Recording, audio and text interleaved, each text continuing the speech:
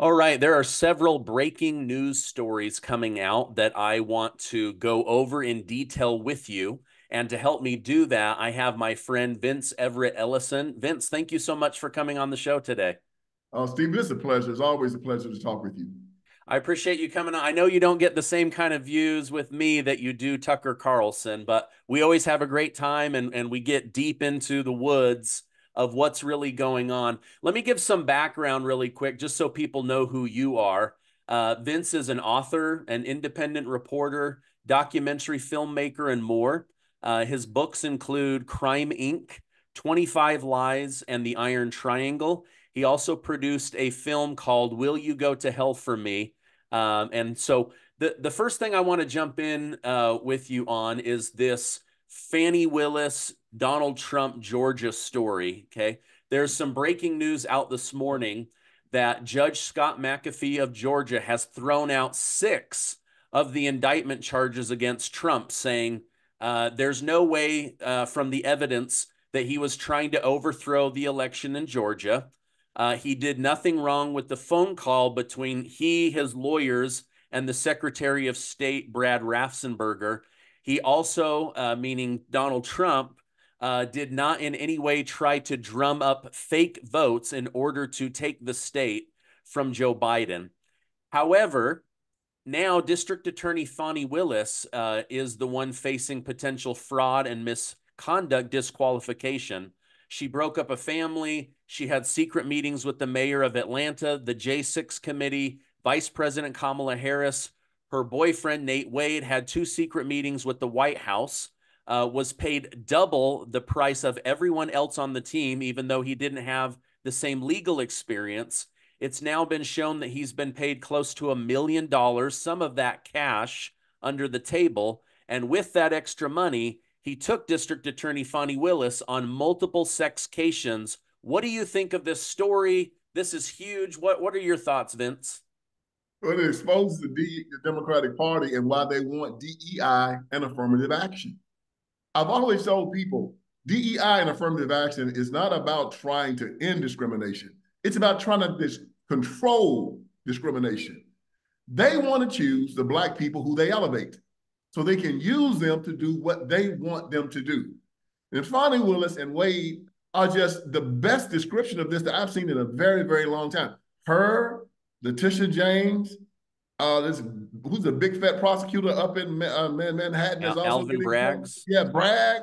All of them are just a bunch of house Negroes that the Democratic Party chose that we want you to put. We're going to put you in these positions of authority. And what do you do for us? This is how you pay us back.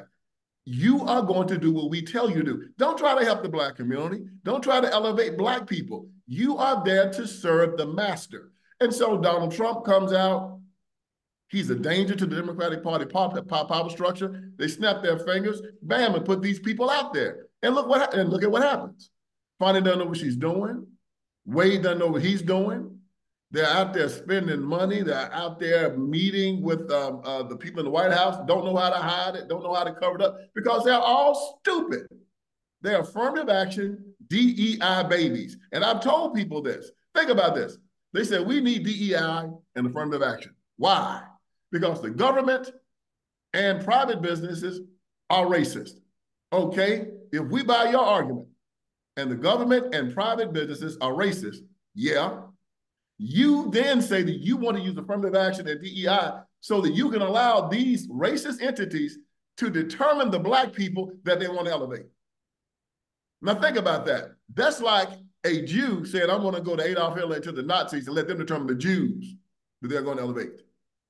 That's like a chicken going to Colonel Sanders and say, we want you to choose the chickens you want to elevate.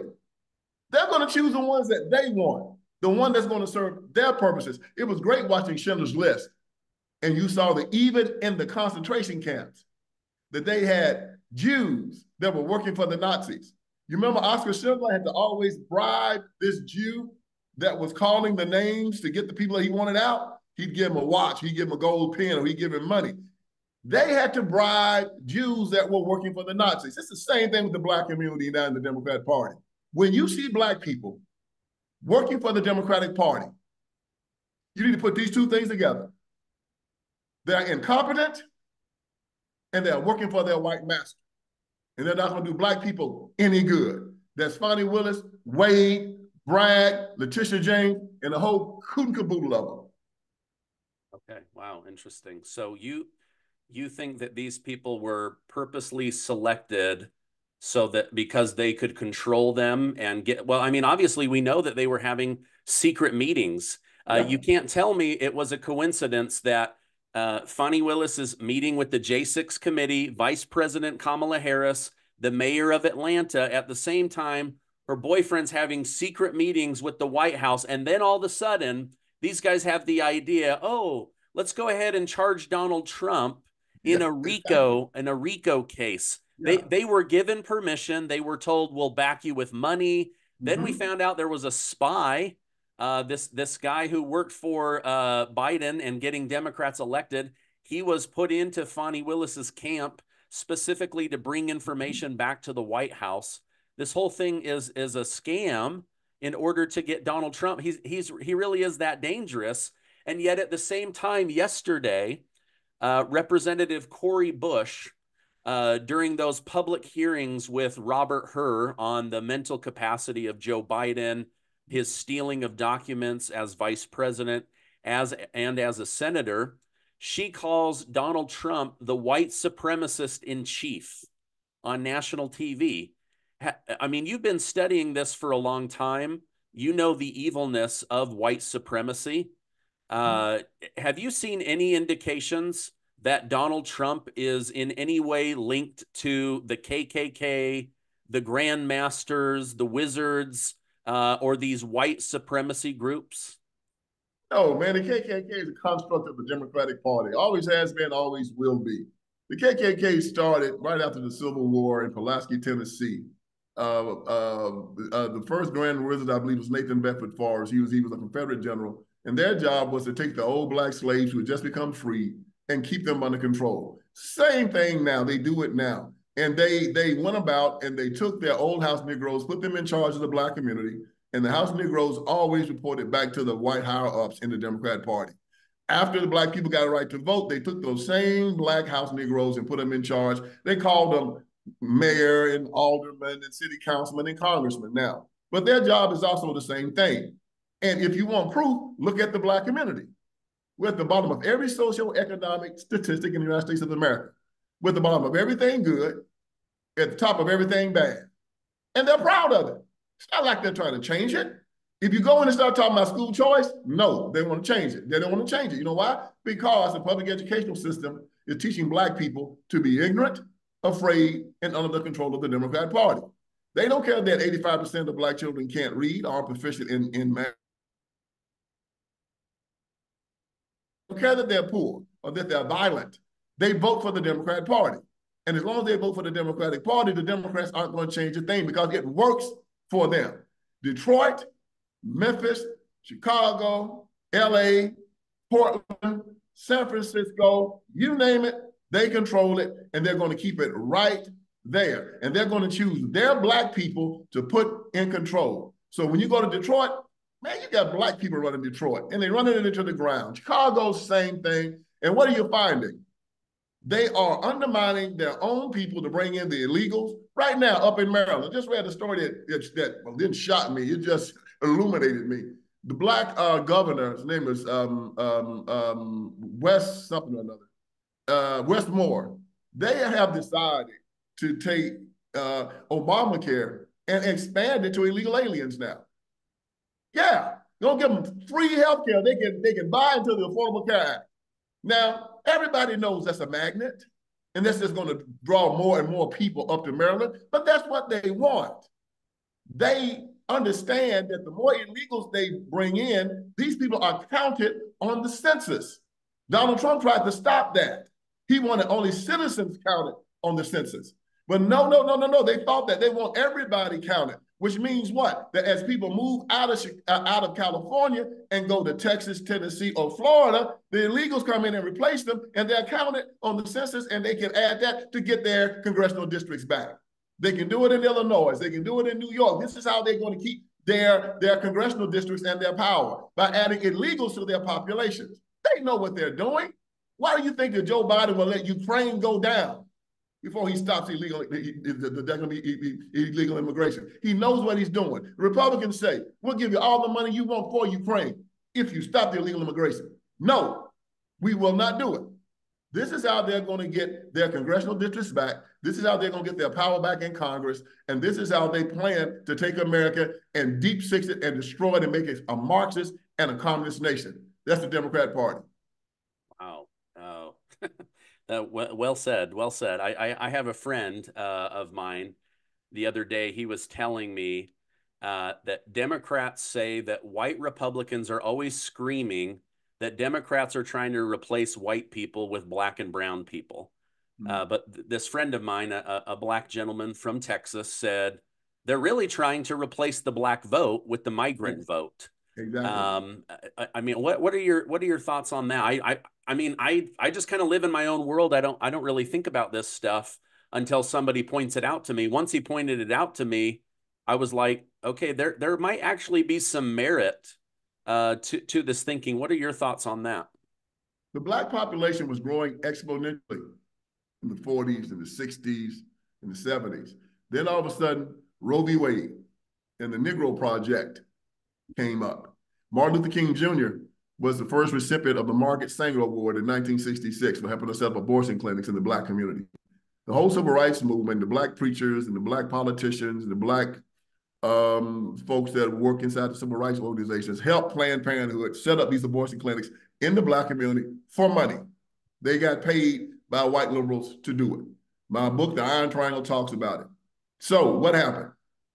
Because of the bloodlust of the Democratic Party and the fact that they're a bunch of perverts, psychopaths, liars, and anti-Christian bigots. They've destroyed They like death, they like destruction, they like destroying people. So consequently, they've aborted 20 million black children. They put a whole lot of black men in jail, and a lot of them, when they get out, they can't vote anymore. And then there's murder. These ghettos. So what's happening? They're killing their voting population. The people that are voting for them, they're also killing and they're murdering. So what do they have to do? They got to replace them. And they are they're, they're not going to replace them people that they believe are going to vote for the Republican Party. They're going to bring in people that have a socialist concept. And those are usually people from South America. And so they're going to replace, the, and, and, they have to replace the black community because they killed most of them. They've uh, uh, put them in prison. Uh, they've aborted them. And they got to abort them because, of course, they use abortion. They use aborted fetuses uh, inside the pharmaceutical industry. They use them for makeup and they use them for COVID vaccinations and they use them all kind of stuff. All, all your all, all of your viewers need to just Google what do they use aborted fetuses for in the pharmaceutical industry, and you'll find that a lot of people use them for makeup and to make their skin look better and to, to all kind of um, uh, um, vaccines and all kind. Of, you can go into a state, and if the state will not allow you to have an abortion, they'll fly you to a state to allow you to have an abortion because they need that fetus. They need to make money off of it. So they've aborted or murdered most of the black community. Now they got to bring in people to replace them. And that's where the Hispanics and that's where the illegals come in, and that's their plan. Wow. Okay. Because aren't aren't there um aren't aren't there about 30 30 to 35 million black Americans or is it higher than that? I, no, it's been a, it's yeah, it's about that. It's been that way about maybe twenty years. Uh, it, okay, hasn't, so, it hasn't expanded much since then. For about but, twenty years, been about steady. But but without all of these abortion clinics, you're saying the population would be closer to like fifty million? Oh yeah, oh, of course, yeah. We'll, we'll, we'll double by now. We've had we've had twenty million abortions since 1972. And when and when you talk about aborting a child, you're talking about aborting all the children that they're going to ever have. So in 1972 was 50 years ago. The children that were aborted then would be having grandchildren now. So yeah, they they've aborted um, probably about half of the black population. It should be around maybe oh about 50, 60 million now. But Margaret Sanger said that we were human weeds and that we need to be exterminated. And of course, most white liberals believed that and agreed with it at the time. But then they needed our votes. But now abortion has been baked into the black community, uh, baked into the black community but they also need the money. They also need uh, to kill people like all psychotics do, and they can't stop. So they have to kill the people, put them in jail, uh, you know, drug them up, beat them down, but then they got to replace them with people that will vote also. So yeah, they're you know the, the, the Democrats are evil, but they but they're not crazy. Yeah. Um, the other the other big thing next to illegal immigration that many Americans are waking up to is the fact that uh, there there always seems to be money when it comes to war, but there's there's not money for helping uh, struggling communities. There's not money for our seniors. Uh, there's not money for our veterans. There's not money for our school systems.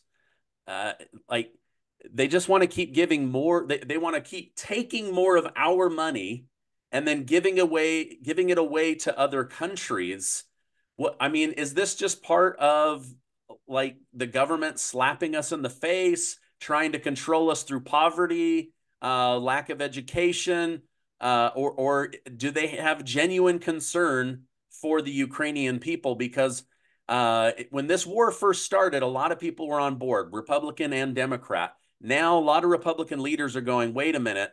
Uh, this feels like a money laundering operation. Nobody, the, nobody's accounting for the money. Only 30% of the money and the weapons are making it to the front line. We need more, more, more, more of that American taxpayer money in order to beat Putin. But there's there's no there's no money for you and me. There's no money for impoverished nation like like communities. Like what is going on? Why are Democrats so hell bent on stealing our money to give it away to a country in Europe that people can't even find on a map? This is something that a lot of people do not know, and thank you for that question, Stephen.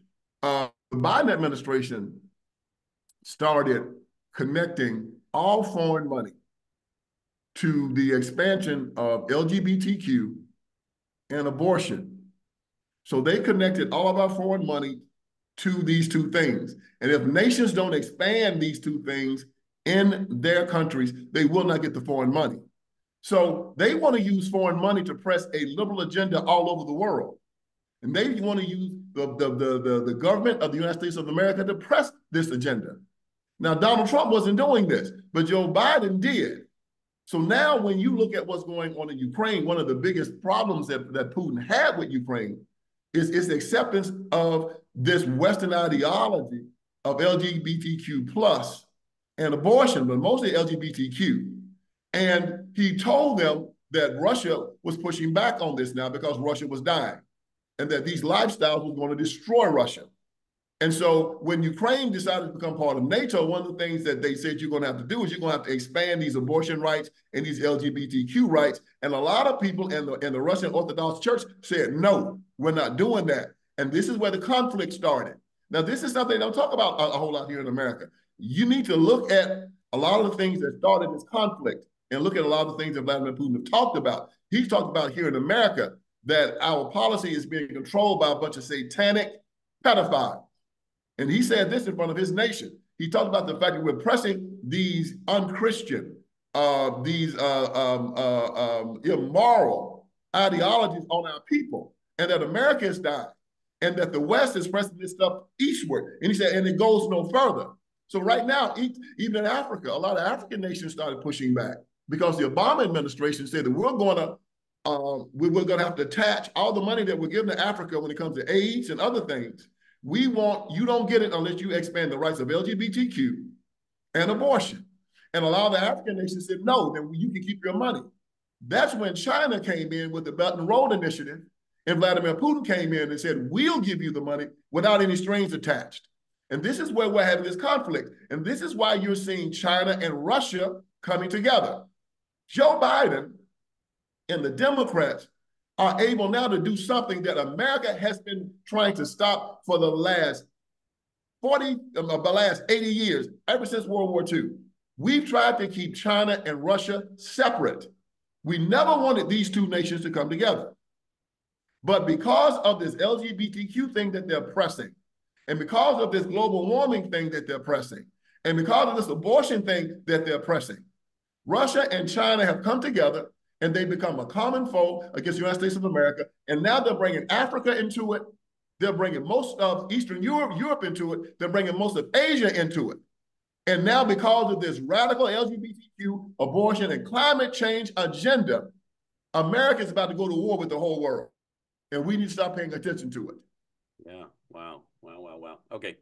Uh, in our final few minutes together, Vince, um, tell my audience about Crime Inc. What's in there? What are we going to learn by reading the book? Well, Crime Inc. is a book that I came out this past October. It's a book that I wrote that um, uh, describes the Democratic Party as a crime family. It, it, it, it uses the same tactics as the mafia. It uses the public educational system to groom children, just like the mafia does. They groom children to join the mafia. They groom children to join the Democratic Party. They use the public education system to, to um, uh, sexually groom children also. They uh, use the um, uh, uh, unions to launder their money. The teachers' unions, you know, they they give the teachers pay raises. Teachers, of course, then take the, the pay raise and give some money to the union, and the union unions give 90% of their money to the Democrat Party. They are in, in league, league with the cartels. One of the reasons why the Democratic Party will not seal that border is because all the cartel tails down south are billionaires. They have lawyers and lobbyists. K Street down in D.C. They give them money. The Democratic Party gets that money, and they won't seal the border. So it's this crime family thing. The reason why they want to they, they want to defund the police inside the inner city. Same reason. How are you going to sell the dope and do the sex trafficking if you got police everywhere? So they want to run the police out so they can do all of their crime in the inner cities. They are a crime family. They kill children on an industrial level. Uh, the mob used to do hits for a living. They called it Murder Inc. Bugsy Siegel and Anastasia and all of them. Well, uh, the Democratic Party got over a thousand murder incs all over the country. They're called Planned Parenthood and abortion clinics, and they get paid for every hit. And Planned Parenthood gives money back to the Democratic Party. So the Democratic Party do they do about a million hits a year in America to small children, and they get paid for every hit they do. So that's what Crime Inc. does. And I want your viewers also to go to my podcast, the Vince Everett Ellison podcast. I talk about all of this stuff weekly, and I put it down. We talk about was slavery a choice. We talk about how they use the public educational system to destroy America. We we talk about does a Democratic Party, can you be a well-versed Democrat and be a Christian? Yeah, we put it all down and we answer those questions. So I say again, Stephen, the Democratic Party is an evil institution. It's the party of perverts, liars, psychopaths, and anti-Christian bigots. They were the party of slavery from 1800 to 1860, the party of the Confederacy from 1860 to 1865. They're the party of Jim Crow from 1865 to 1965. And now they're the party of murder, transgenderism, atheism, and all they do is meditate on blood. And we need to work hard to make sure that they're kicked out of power in 2024. Yeah. Wow. Oof, man. You should be a preacher, my friend. um, I'm going to put a link to the book. I also want to put a link to your new your new YouTube podcast. Um, you always, you know, it's it's beautiful. Everybody go go check it out. You know, you said something. It, it never crossed my mind that defund the police could actually be these groups behind the scenes trying to remove police so that they can keep doing crime. I always thought it was about we hate the police, we feel targeted as a community. Uh, and I know some people think that's what it is, but it, it never crossed my mind that it may have something to do with actually keeping those channels open, those doors open in order to keep facilitating drug cells and, and things like that. So that's that's really that's really eye opening to me. I never never thought about that. Uh, Vince, thank you so much for coming on, going through these big news stories, telling us about your book. I'll I'll make sure to put those links down below. I hope you have a great rest of your day. You too, Stephen. Thank you, and thank you, a wonderful audience. I mean, you you I, I always watch your shows, man. They're always so informative and I and your audience has to be some of the most intelligent people in the United States of America. Thank you, and thank everybody that's watching this show today. Really, I appreciate it. Oh, thank you. I appreciate that. Bye bye. Thank you. Bye bye.